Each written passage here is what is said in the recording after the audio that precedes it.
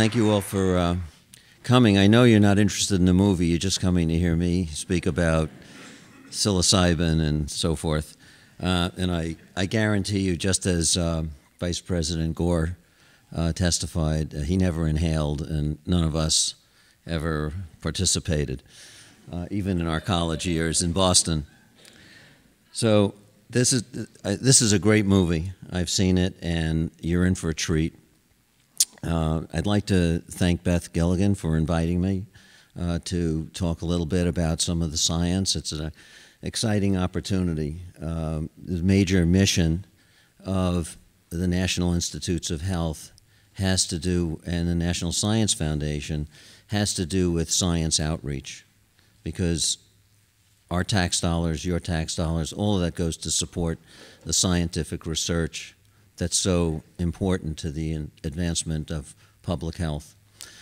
So my, my you know, my goal, what I've been asked to do was to um, discuss uh, some of the underpinnings uh, that, that go into the scientific aspects of, as was just mentioned, almost, almost clarified in the movie without giving away any um, giving, giving away any aspect of the story. So I will try to do that. So here, in this uh, first slide, this is the young, you'll see is the young Karamakate. Uh, and I entitled this, uh, In Search of Spirit. You can't hear me? Oh, okay, sorry. Is it, pick up the mic? Uh, all right. I normally walk around when I lecture, I normally walk around with a little thing on me, so I, I like to be a little kinetic, so I won't be able to be tonight. Let me, unwind this. And there are definitely some serpentine wires here. And I, okay, I think I can, if we can free, can we free this wire up a little bit? Get this one. Thanks. There we go. All right, now I can move. All right, thanks. All right, so this is the, the young, as you'll see soon, this is the young Karamakate. Uh, in real life, he's actually a farmer. And, and I understand from reading a little bit about this that he wanted to be the star of the movie in order to be in it, and somehow they convinced him to get off the farm uh, to, to be the actor. Uh, and he's a wonderful, uh, a wonderful character. But I entitled this The Search of Spirit from Shaman to Psychotropics because it really is about, this movie really, at least in my opinion, from what I identified with this movie, is really about what we're all in search of. We're all in search of what is inside of us, asking those fundamental questions. Uh, why am I here? What am I about? What am I going to do? Can I understand myself? We're both blessed as Homo sapiens with the ability to be self aware, and we're also at the same time cursed by it, in that we are aware that our time on this planet is limited. And during that time, we seek spirit. It comes in many forms. It comes as organized religion. It comes as individual identity. And I see that, in, in my mind, that's what this movie is about. Well, it starts in about 1912. And it, the movie starts with Theodore Koch Grunberg, who was a German ethnologist. So that's a person who's interested in different ethnicities. He was very interested in the indigenous peoples of the Amazon uh, forest, rainforest. So he spent his professional life uh, in the Amazon, and he was an explorer in this general area of Colombia and Brazil uh, in the early 20th century, and he meets the shaman, uh, Karamakate. And this is the actual photograph of him. Unfortunately, this laser pointer is fading out on me. But this is the, this is this is uh, Koch Grunberg right here, uh, in during his uh, I guess adventure and his explorations, and this is how it's portrayed in the movie, uh, quite nicely. And this is very rewarding to see how uh, the the director and the producers of the movie uh, tried to adhere to the actual facts of his explorations. Here's the uh, Theodore Koch Grunberg with, uh, with Karamakate. uh, during one of their expeditions in 1912. And here's uh, Kara, uh, not quite as handsome uh, as the uh, first image, but definitely a shaman. And here's uh, Koch Grunberg, uh, I believe shoeless, as we can see over there, sitting down. And I, I also note, having taken uh, a little yoga, that he's able to sit very, uh, very in a very low chair and seem comfortable, as they, they typically do in the Amazon. Uh, and actually, I was impressed that that the shaman was actually sitting on something because uh, when I go to yoga, they they make us try to sit on the floor without a chair, and I can never do that. I always roll backwards. I don't know what. It, but so 30 years later, right around 1942, and of course the world is at war. Um, uh, Schultes, uh, who's, who's an ethnobotanist, so he's interested in plants that are associated with different ethnicities. And he also goes to the Amazon, and he's really being paid to seek a source of rubber because the supply of rubber products to the Allies has been cut off by, by the war in the, in the East, in Asia, or reduced uh, due to access. And he's, his uh, scientific interests are in the area of psychotropics. So in the movie, this is the aging Karamakate. Uh, so he's, he's now, and I won't mention what is going on in his life, but he's, he's the aged uh, shaman, and there's quite a bit of focus in the movie on the spiritual connection with the forest, which uh, is what I was referring to earlier. And, and this is quite typical of the shaman. Uh, they're indigenous religious leaders they believe they can communicate with and learn from plants and nature in general. And this is something that we all experience when we go into the rainforest or any natural environment. We experience that very special spiritual feeling. And, and, and that's what this movie is, has, uh, I think, illustrated brilliantly. So here's the real Evan Schultes uh, in the rainforest, and he's scientist. He was uh, from Harvard. Uh, Boston is, as in many things, uh, a leader in, in areas of discovery, uh, I guess even in psychotropics. he's, he's exploring, and then uh, here's in the movie, here he is speaking to the aged Karamakate, and he becomes very ill. And the part that pharmacology comes in is how the shaman uh, tries to treat him. So, what might they have been using? And we don't really know for sure what he was using, but what might they have been using? We do know that he, he uh, at some point had uh, malaria. So, these are some of the, uh, I mean, there are hundreds of thousands of natural products in the Amazon, uh, Amazonian uh, rainforests. But these are some of the ones that he might have used. For an analgesic, it could have been morphine. For psychotropic, psilocybin, I'll be talking about that. That's, uh, psilocybin is produced by a fungus, mushroom, uh, otherwise known as magic mushrooms. Uh, in culturally, psychostimulants, cocaine, very prevalently used uh, in the Amazon uh, from a leafy plant, and anti-malarial quinine, which can be extracted from tree bark. So now let's skip ahead a little bit into the modern world and the, the pharmacology. So in the human brain, the, the serotonin is a neurotransmitter. Uh, chacruna, so here's the structure of serotonin. It's a neurotransmitter. And the blue indicates uh, the carbon skeleton, which is joined together by bonds. And uh, here's a little OH group, which is kind of two thirds of water. H2O. There's a hydrox, it's called a hydroxyl group. Now, chacruna, which is referred to in this, uh, in this movie, but not necessarily by name, uh, contains dimethyltryptamine, which is this molecule here, N-N-dimethyltryptamine. And you can see, you don't have to know chemistry to see in the blue area the similarity between the structure of the active ingredient in chacruna uh, chacruna, excuse me, and the neurotransmitter serotonin's backbone. So that's, that's really marvelous. And of course, uh, the shaman knew to use chacruna, but they didn't know that there was dimethyltryptamine in there. But it still worked, so it was good enough for them. uh, magic mushrooms contain psilocybin, and you can see from the blue area that psilocybin has great similarity to serotonin. There is some other groups here, and there's this phosphate group here, which in the human body is removed. The phosphate group is removed, and we end up with psilocin, which is the active component of psilocybin. And that is important, and I'm going to refer to that in the next slides. So here's the plant.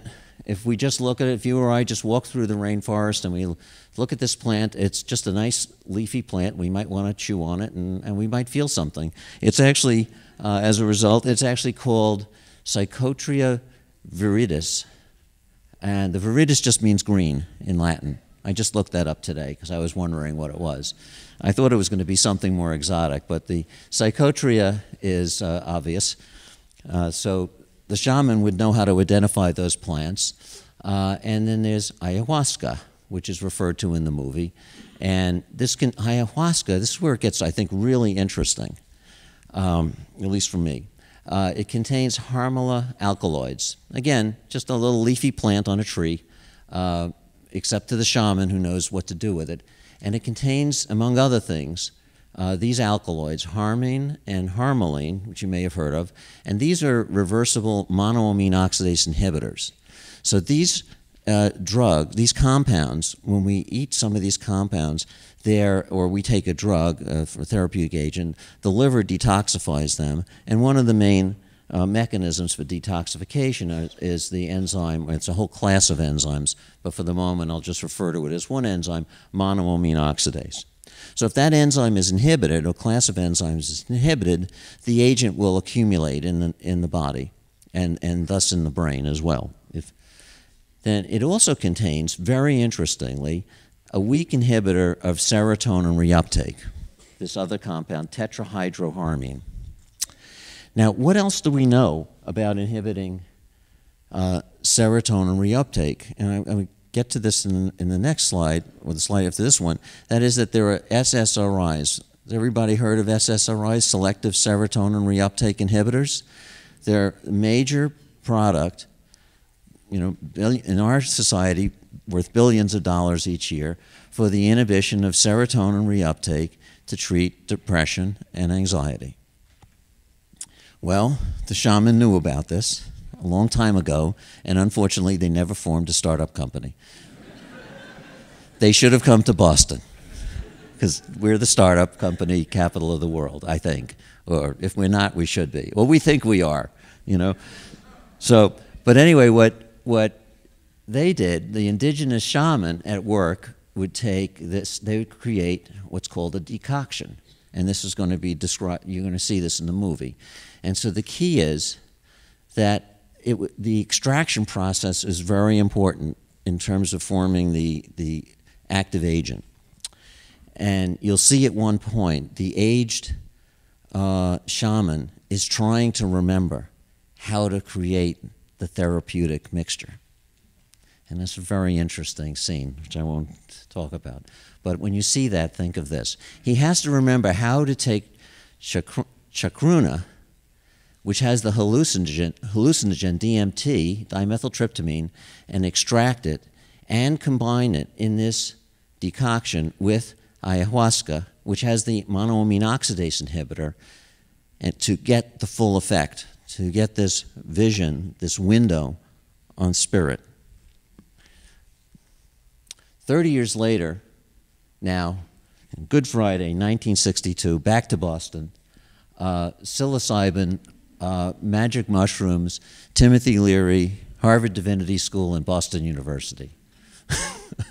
there was the BU Marsh Chapel experiment of 1962. I was not there. Walter N. Pahnke and Timothy Leary of the Harvard Divinity School designed an experiment and carried it out here in Boston, uh, where they administered 30 milligrams of psilocybin and then niacin as a control experiment to student volunteers. There was a long line longer than getting into this theater to participate in this experiment. Uh, and nobody will admit to it today that they were there. But, uh, so, but people reported after this that they had uh, a really amazing, enlightening religious experience what they characterized as a religious experience. Um, and uh, there is a sad story associated, just as an aside, that uh, Walter Pahnke was doing his doctoral thesis. He eventually became an MD, and uh, unfortunately died at 41 in a in a in a diving uh, while doing uh, snorkeling, I guess, or scuba diving off the coast of Maine. But he had he uh, he ended up with a productive life, and many of the people who participated in this had productive lives, and there was evidently no adverse outcomes. So, Back to the Future, um, today, another April day now, 2016. Don't worry about all these structures. Uh, I just, just briefly wanted to show you what the pathway is for the metabolism of psilocybin to psilocin. It's a, just an enzyme alkaline phosphatase. And the key thing here is that ayahuasca inhibits at this stage. So psilocin accumulates, and that's the psychoactive uh, uh, molecule. So, in modern concept, uh, we know this to be acting at a synapse, the, the serotonin synapse. This is the SSRI over here inhibiting the reuptake of serotonin, the natural neurotransmitter.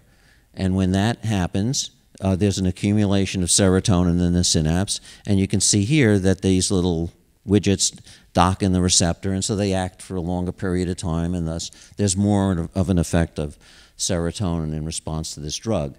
Uh, with regard to the movie uh, and the shaman, they would use chacruna, which is an agonist at those same receptors. It's going to soup up the system. And ayahuasca to inhibit degradation. It's the same effect, accumulates serotonin. It's all working through the same mechanism. And now, if you're Synthes- if you take if, if someone is taking LSD, it's a synthetic compound. It would bind with high affinity to these receptors and really soup it up. Okay, so to summarize, we have melancholy. An individual might have melancholy, maybe you know a little more than normal.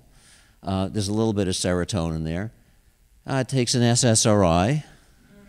He's happy, as are the investors in the company making the SSRI, and you notice the shape of a pill. Uh, I'm a pharmacologist, so we have everything is in the shape of a pill. Uh, ideally, a blue pill in that in that shape. Uh, psilocybin mushroom. Uh, now he's really happy. There's even more serotonin, and he might get the seeds of the gods ayahuasca from a provider somewhere. I don't know where that would be. And if you take that, even on the SSRI, he's going to be extremely happy. So this just shows that, that our, our, our mental, our emotional state can be modulated very effectively, whether it's by traditional herbal medicines or by modern pharmaceuticals. Uh, and we, we bemoan the fact that these tribes, uh, like I said, didn't patent these uh, uh, they probably wouldn't have been able to, but that's a whole other story. Well, so here, this what I'd like to do is I was asked to talk a little bit about, just very briefly, about the future, where it's going. So that's easy because it's easy to talk about that uh, because we're at the most exciting stage, I think, of neuroscience and neuropharmacology that's imaginable, at least for me. The President Obama's Human Brain Project, a Human Brain Mapping Project, uh, is dedicated to mapping the circuitry of the human brain, and people argue about whether that makes sense or not. But in any case, whatever we find out, uh, knowing what the wiring diagrams are going to be and how that uh, correlates with where these drug targets are and neurotransmitter targets is going to be very informative in terms of understanding how these perceptions are uh, are formed. We can know what the wiring diagrams are, we can know what the drug effects are, but what we don't know is how can we possibly be self-aware? How can we pos- how do these images form in our nervous systems so we know who we are and where we are and where we're going and how do we feel? What do we think about things? All these emotional reactions that we have are pretty amazing. And to try to understand that, can we understand it even based on computational uh, methods? So that's where I think the exciting, the really exciting new advances are going to be. I'm not sure if it'll be in my lifetime, but, uh, but that's where it'll, it'll be. Maybe in in hundred years or maybe even thirty years, uh, we'll be uh, understanding this much better. So I'd like to leave you just with when the modern world meets the old world, we find out more about uh, where we Oh, look. are. Oh. Ouch! What do you think you're doing? We've been walking a long ways and I was hungry and. Did you say something? She was hungry. She was hungry. Well, how would you like to have someone come along and pick something off of you? Oh, dear. I keep forgetting I'm not in Kansas. Well, no, she's not in Kansas, and neither are we. And uh, so the the reason for that clip is is that I, at least in my mind, it's it's a depends on how we think about it. Uh, I wouldn't think about it necessarily as a person under the influence of a psychotropic, but as the uh, for the, but for the for the shaman, there is that connection with the there really is that connection with the tree, with the fruit of the tree, and there's a reality of that connection, and that's what I'd like to leave you with.